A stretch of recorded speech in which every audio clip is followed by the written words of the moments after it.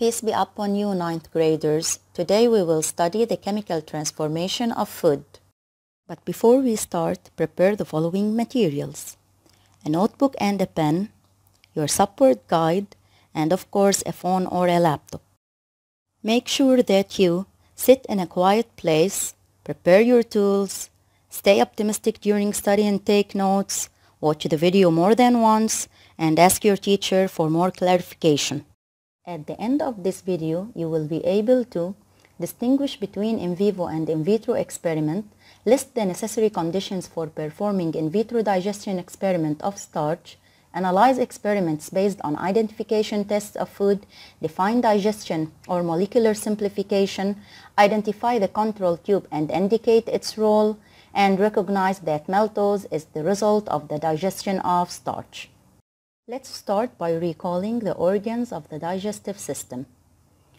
So first of all, we have the mouth, the esophagus, stomach, pancreas, small intestine, large intestine, and liver. The main function of the digestive system is to break down the food into smaller molecules that can be absorbed by our blood and then transported to all body organs.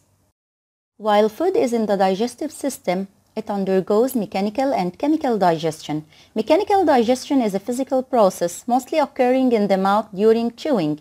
Food is transformed into smaller pieces. The chemical digestion, however, is a chemical process. It begins in the mouth and continues in the stomach and the small intestine. Food is transformed from complex molecules into smaller ones. We will start with chemical digestion in the mouth. When you chew a piece of bread for a certain time, it mixes with saliva and takes a slightly sweet taste. Where does this sweet taste come from? Think, students, where sweet taste usually come from? Things usually taste sweet because they contain sugar, right? So, our hypothesis would be the sweet taste is due to the presence of sugar.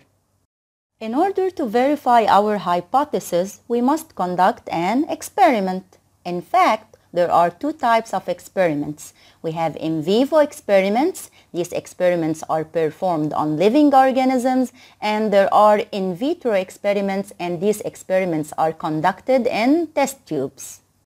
In this video, we will study the digestion in vitro of starch. To set up an in vitro experiment, first of all, you have to prepare a water bath at 37 degrees Celsius. Why 37 degrees Celsius? Because it is the normal temperature of the human body.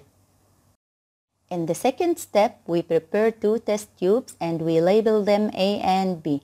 We put cooked starch in both of them and we add a small amount of fresh saliva in tube A only.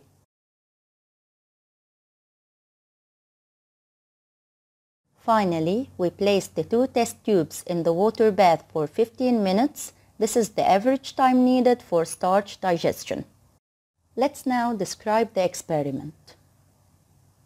Cooked starch is put in two test tubes A and B. Then, fresh saliva is added to tube A only. The two test tubes are placed in a water bath at 37 degrees Celsius for 15 minutes. We will now indicate the variables.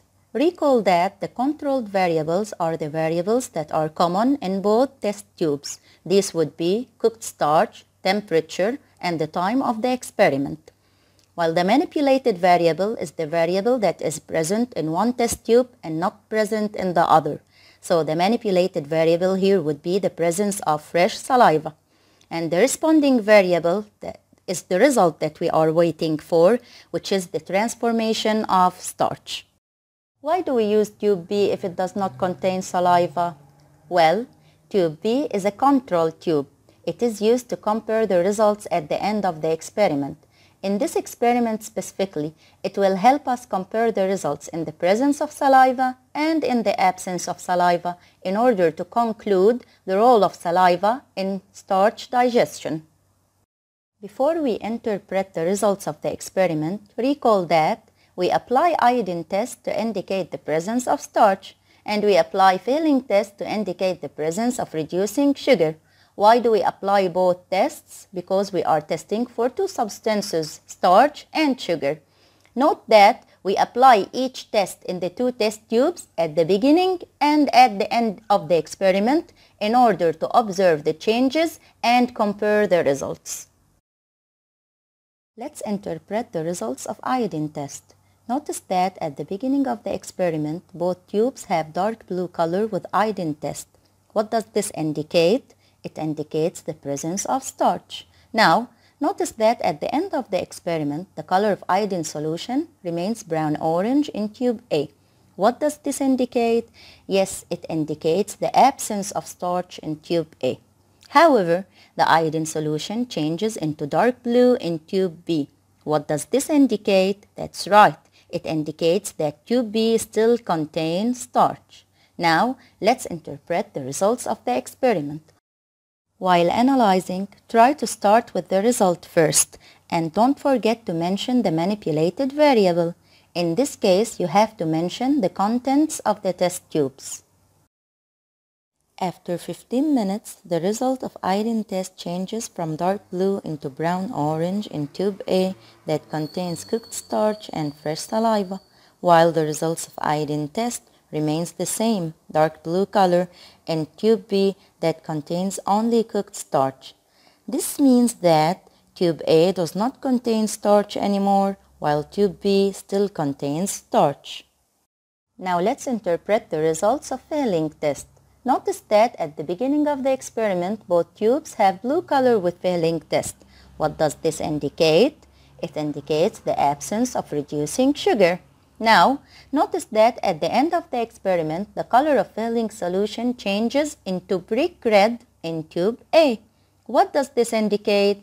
It indicates the presence of reducing sugar in tube A. However, the Fehling solution remains blue in tube B. What does this indicate? That's right, tube B still contains no sugar. After 15 minutes, a brick red precipitate is obtained with Fehling test in tube A that contains cooked starch and fresh saliva, while the Fehling test still gives a blue color in tube B that contains only cooked starch. This means that tube A contains a reducing sugar while tube B doesn't. After interpreting these two experiments, you have certainly noticed that only in tube A where saliva is present, there was absence of starch and appearance of sugar. So, what do you conclude? Saliva transforms starch into reducing sugar. So what happened exactly? Saliva contains an enzyme, which is a chemical substance, called salivary amylase which breaks down the big starch molecules into smaller sugar molecules called maltose. What is an enzyme? It is a chemical substance produced by the body that facilitates the simplification of complex molecules.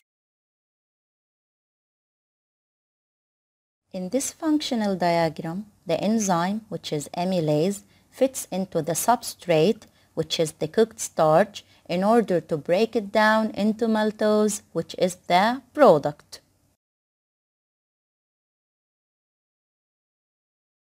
Now, let's put all the pieces of the puzzle together. When this boy was eating bread, the bread in his mouth mixed with saliva. The salivary amylase in saliva broke down the big starch molecule in bread into smaller molecules called maltose. Maltose is a reducing sugar and that's why the boy felt a slight sweet taste. Thus, the hypothesis is validated. So, how do you define digestion? Well, starch is a complex molecule. Under the action of salivary amylase, it transformed into a simpler molecule. In fact, this is the concept of digestion. So, digestion is the breakdown of complex food molecules into simpler ones.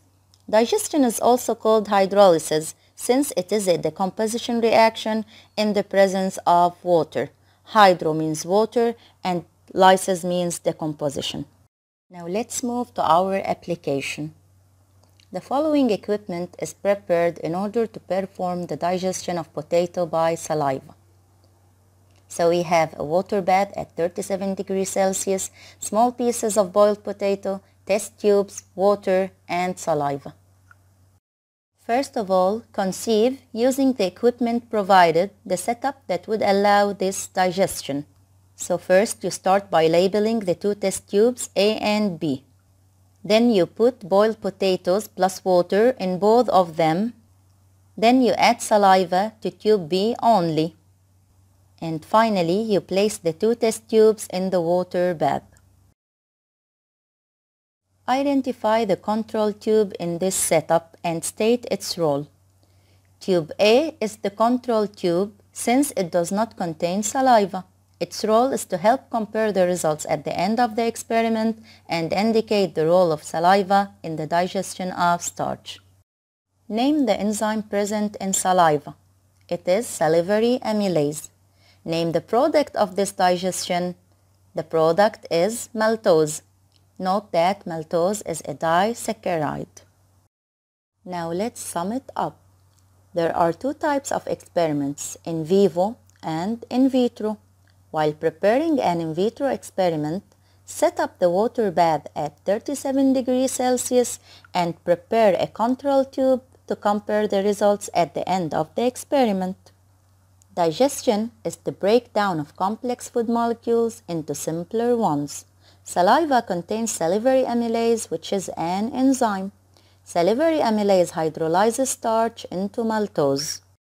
And finally, you will be assigned to Copy and memorize the summing up on your notebook. This is all. Hope you enjoyed the lesson. Study well and keep safe.